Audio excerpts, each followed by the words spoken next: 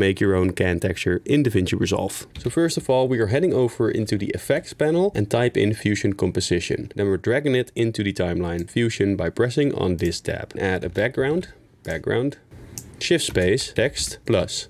You can drag this over the background to merge it over each other. Now type some text.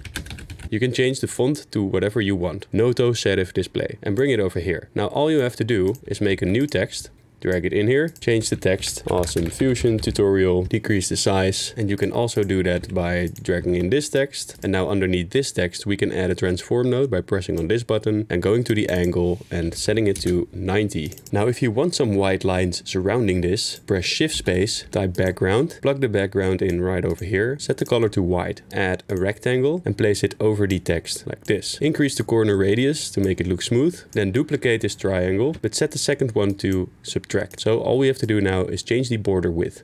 And that is how you